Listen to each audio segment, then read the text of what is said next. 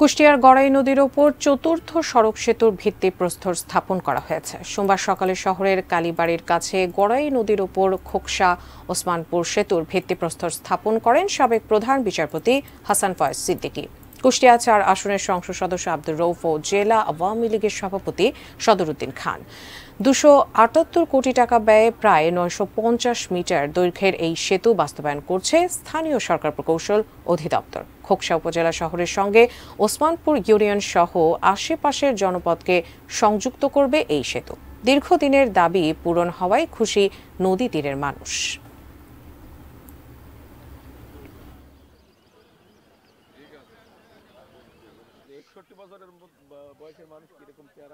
এটা আপনাদের সম্পত্তি।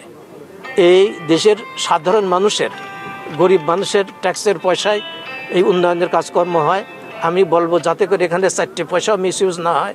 কোয়ালিটি যাতে আপনার বজায় থাকে সবসময় আপনারা সজাগ থাকবেন। শুধু এখানে যে ইন্ডাস্ট্রিয়াল জোন হবে তা না এখান থেকে একদম দৌলতদিয়া পর্যন্ত। আহ, শিল্প কলকারখানা গড়ে উঠবে এবং একটা বিপ্লব অর্থনৈতিক বিপ্লব সাধিত হবে আমার বিশ্বাস।